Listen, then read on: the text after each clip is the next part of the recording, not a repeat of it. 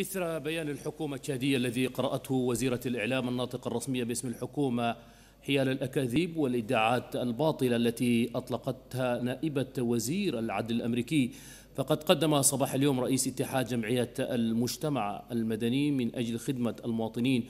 محمود علي سعيد بيانا صحفيا استنكر فيه بشدة هذه الاتهامات الباطلة. اتحاد جمعيات المجتمع المدني من أجل خدمة المواطنين كذاك يندد ويستنكر بشدة البيان الصدر من لدى القضاء الأمريكي و وبيقول كلام ما صحي وما عنده أي أساس في الحقيقة. وهذا البيان هو بيجيب الكذب في في رئاسة الدولة وفي رئيس الجمهورية.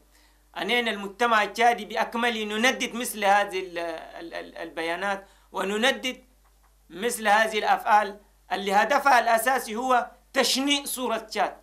اليوم بلدنا تشاد في أفريقيا يعني تلعب دور محوري ودور استسباب الأمن دور أساسي. عشان ده الكواليس واللوبيات دايرين بأي طريقة كانت بيجوبوا الأكاذيب وبيجوبوا الاتهامات الخطأ عشان يتلفوا سمعة رئيس الجمهورية ويتلفوا سمعة بلدنا لدى العالم. وده عنينا ما بنرضى فوقه واليوم يعني العالم أصبح يعني دائرة مفتوحة. كل الأكاذيب اللي هم بيقولوها دي أنا في المجتمع التشادي والإعلام وكل الطبقات التشادية تندد مثل هذا العمل وتنكره وتقول ما بدخل أي أبدا كلام أكذوبي زي ده ما بدخل في رؤوسنا. ندد وأنينا نقول لهم ونحذرهم نقول لهم كي يعني رئيس الجمهورية وجات جزء واحد. إذا جبتوا الأكاذيب في رئيس الجمهورية لأن أنتم جبتوا الأكاذيب في المجتمع وفي الشعب وفي الدولة كلها. ما ممكن ناس يمسوا شرفه ما ممكن. أنينا ما بنرضى بالأشياء زي دي ونقول لا ولا ولا. ما ممكن.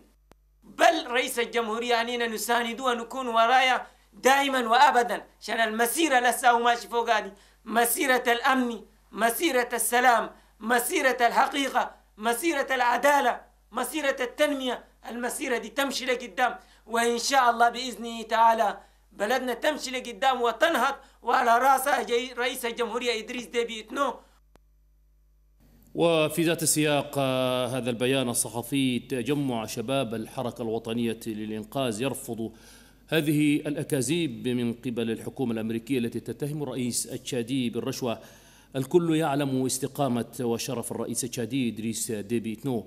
فإن شباب الحركة الوطنية للإنقاذ يناشد القائمين بهذه المدعين لهذه التهمة أن هذه التهمة ليس لها أساس من الصحة وأن هذه الأكاذيب تهدف إلى تشويه سمعة رئيس الجمهورية إدريس ديبي إتنو المخلص الذي يشهد له العالم بدعمه ومساعدته للقارة الإفريقية.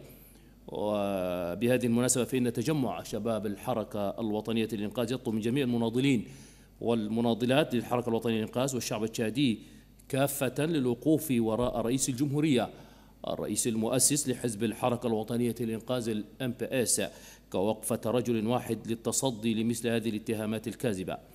توقيع الرئيس الوطني لتجمع شباب الحركة الوطنية للإنقاذ إدريس عبد الله كلا